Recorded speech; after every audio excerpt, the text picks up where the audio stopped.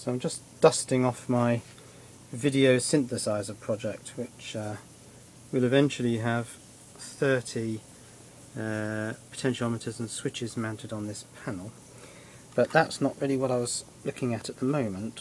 What I thought I'd do is just set up a simple 555 oscillator circuit. So let's get my magnifying glass to have a closer look.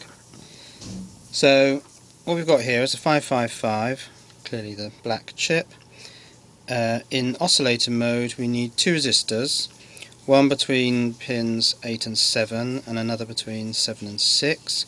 Well I've implemented both of those resistors using a pot. Uh, the capacitor goes down here between pins 1 and 2, 1 goes to ground, 8 goes to positive.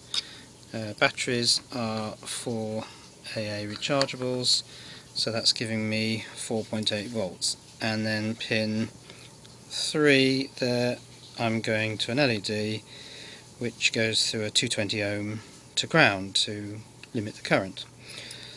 And uh, we have oscillation on the LED okay now let's take the frequency a little bit higher. So I'll pull out the capacitor.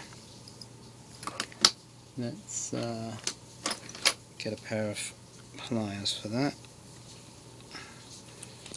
you come. Okay, not the most elegant way to take it out. Of course the oscillation stops if there's no capacitor. It just locks up one way or the other. So let's put this lower value, although it looks enormous, it is a lower value.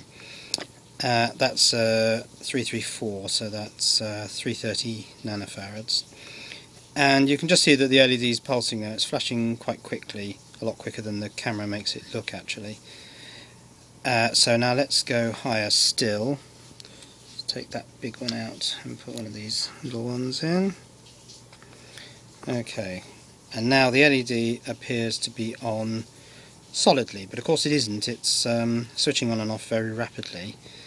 And with an LED now it's too fast for us to see that, so the other option is to listen to it. So let's get a loudspeaker, connect the speaker basically where the LED is, so I'm going to connect it across the LED connections. Now the LED's gone out, but you can hear on the speaker the frequency of oscillation.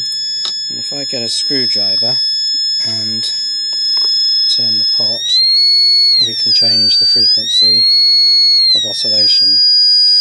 Uh, that would take you up to about 15 kilohertz, or if you're a younger person, perhaps a little bit higher than that, 20 kilohertz.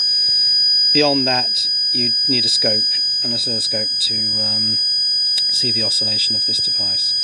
But that's a 555 working as a basic uh, astable multivibrator, an oscillator essentially.